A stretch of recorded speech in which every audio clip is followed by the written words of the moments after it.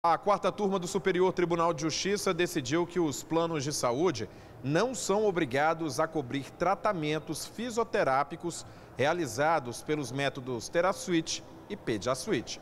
O PediaSuite e o TeraSuite são métodos que buscam melhorar distúrbios neurológicos que afetam a coordenação motora, como, por exemplo, a paralisia cerebral.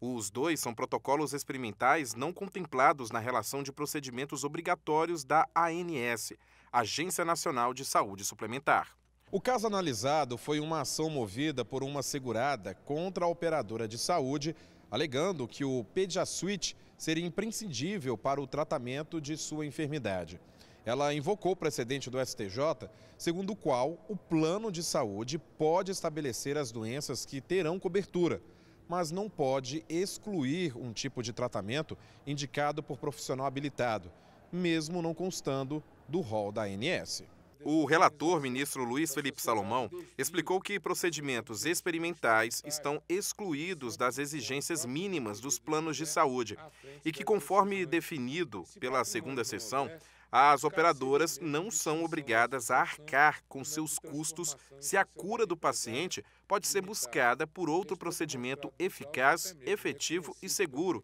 já incorporado à lista da ANS. O magistrado ressaltou que a nota técnica 9666, disponível no banco de dados do Conselho Nacional de Justiça, entende não haver estudos aprofundados sobre as terapias TeraSuite e PediaSuite e que o Conselho Federal de Medicina definiu no parecer CFM 14 de 2018 que tais terapias atualmente são apenas intervenções experimentais. Salomão ainda ponderou que a universalização da cobertura não pode ser imposta de modo completo e sem limites ao setor privado, sob pena de inviabilizar economicamente os planos. A quarta turma então confirmou decisão individual do ministro Luiz Felipe Salomão, que deu provimento ao recurso especial da operadora para reconhecer a não obrigatoriedade da cobertura pelo plano de saúde.